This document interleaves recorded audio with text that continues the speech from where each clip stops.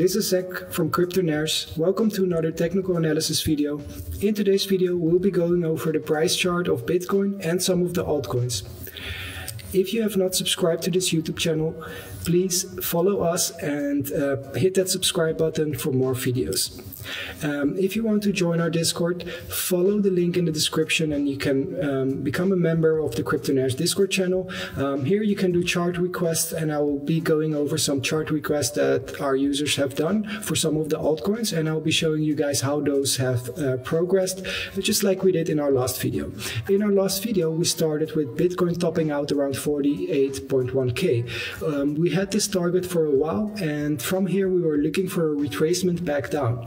In the Discord community, I have shared that 39k was the most important price level, and that this was the price level where, where the bulls ha had to fight to keep the bullish momentum going. Right, so this is the last level of defense, and the bulls will have to step up at this price level uh, for us to see higher prices uh, in the coming months.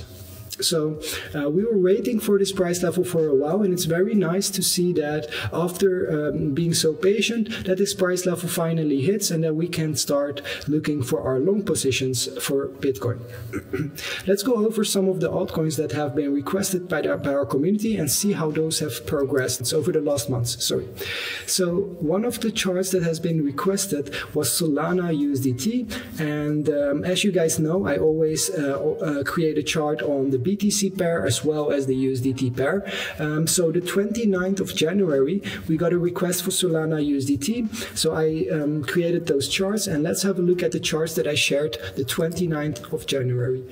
So on the BTC pair, I was looking for a bounce to form the fourth wave and I was looking for a fifth wave down towards a target of 0.002 Bitcoin uh, per Solana. Okay, so this was on the Solana Bitcoin chart. And on the USDT chart, which I also shared that same moment, so around 29th of January, I was looking for um, the price level of $80 to remain the low and to hold as the low uh, for Solana. And I was looking at a target of $136 to be the high of the price action for Solana. So I was looking for a bounce towards 136.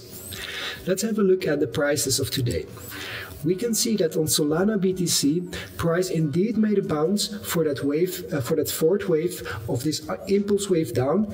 It was a little bit lower, it came a little bit lower than expected, but the target of 0.002 Bitcoin was hit perfectly.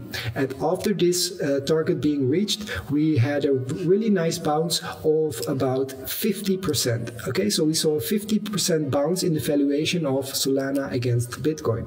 That's a great bounce. And on the Solana USDT chart, $80 has remained the low. So after three bounces, we bounced right up from $80 right towards the $136, which is another 69% bounce. Okay, so from this area, we went back down for, for the retracement that we're in right now. Okay, so also in Solana, we're reaching a very nice price level to get back into this market in order to see higher prices. Okay, so a lot of the charts are showing a very, very critical price level, and the bulls have to step up their game at this price level.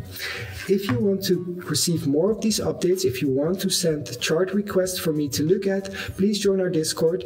Um, uh, put uh, put a thumbs up uh, below the video, and I will see you in the next video. Have a good day. Bye bye.